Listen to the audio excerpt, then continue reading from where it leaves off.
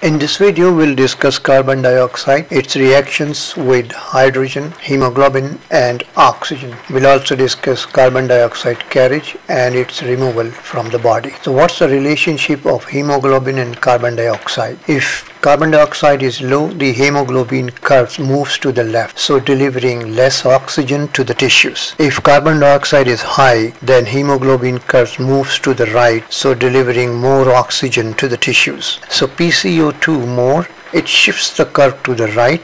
Hemoglobin delivers more oxygen to the tissue. When PCO2 decreases, shift curves to the left and hemoglobin delivers less oxygen to the tissue. Deoxygenated hemoglobin has higher affinity for carbon dioxide. Deoxygenated blood can carry more carbon dioxide whereas oxygenated blood has less carbon dioxide carrying capacity. Therefore, at tissue level, when hemoglobin releases oxygen, carbon dioxide attaches to hemoglobin, so increased carbon dioxide can be carried by the blood back to the lungs. So what happens in the lung? When oxygen binds with hemoglobin, carbon dioxide is released. Why hemoglobin releases carbon dioxide when it combines with oxygen in the lungs? Number one, when hemoglobin combines with oxygen, it becomes a stronger acid so it releases carbon dioxide in the alveoli. Arterial blood has a pH of 7.4. Addition of carbon dioxide lowers the venous blood pH to 7.37 and number 2 in the lungs a decrease in the hydrogen ion increases the binding of oxygen to hemoglobin. How hydrogen ion decreases?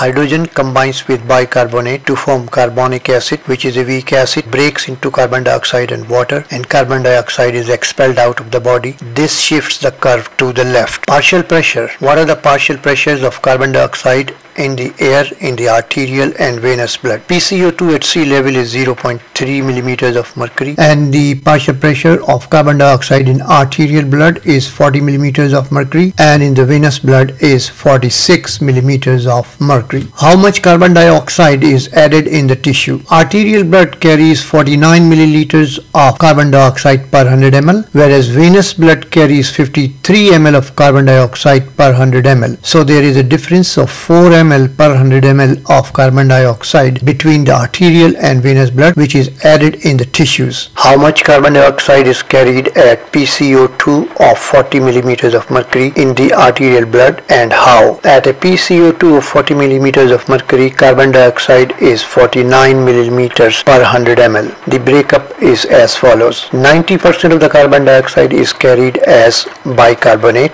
that makes 43.8 ml. 10% each carries as carbamino compound and in a dissolved state that is 2.6 milliliter each. Carbamino compounds are carried as bound to hemoglobin and plasma proteins. Carbon dioxide is 20 times more soluble than oxygen. How much carbon dioxide is removed from the body? Arterial blood carries 49 ml carbon dioxide per 100 ml and venous blood carries 53 ml carbon dioxide per 100 ml. So there is a difference of 4 ml per 100 ml. This is the amount of carbon dioxide removed per 100 ml. So it's 40 ml per liter and if there is 5 liters of blood that makes it 200 ml of carbon dioxide. So 200 ml of carbon dioxide per minute is removed from the body. What's the effect of addition of carbon dioxide on the pH? It decreases the pH from 7.4 to 7.36. How carbon dioxide is removed from the body? Carbon dioxide is removed from the body by a process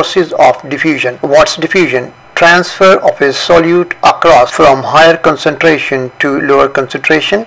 It's a passive process and does not require energy. How carbon dioxide is removed? There are four sites or processes involved in carbon dioxide removal. In the RBC, in tissues, in the plasma, in the lungs and a chloride shift. So what happens in the RBC? In the RBC carbon dioxide combines with water to form carbonic acid H2CO3 which is a weak acid. The enzyme is carbonic anhydrase. Carbonic acid H2CO3 breaks into hydrogen ion and bicarbonate ions. The hydrogen ion produced in these reactions are buffered by hemoglobin. Bicarbonate is the major form in which carbon dioxide is carried. About 90% of carbon dioxide is carried as bicarbonate. Bicarbonate Bicarbonate leaves RBC, dissolves in plasma and is carried to the lungs. To maintain electrical neutrality, what substance enters RBC in exchange for bicarbonate? When bicarbonate diffuses into the plasma, to maintain the electrical neutrality, chloride enters into the RBC. So the chloride content of the RBC is very high on the venous side of the blood and what happens in the lung? In the lung, all reactions are reversed. Bicarbonate enters the RBC from the plasma and in the RBC, bicarbonate combines with hydrogen ion to form carbonic acid which breaks into carbon dioxide and water and carbon dioxide is expired out of the lung. What's chloride shift? In the lung, bicarbonate enters back into the RBC. To maintain the electrical neutrality, chloride comes out of the RBC to enter into plasma. And this is known as chloride shift. This is the reverse what happens in the tissues. In the tissues, to maintain the electrical neutrality, when bicarbonate diffused into the plasma, chloride entered into the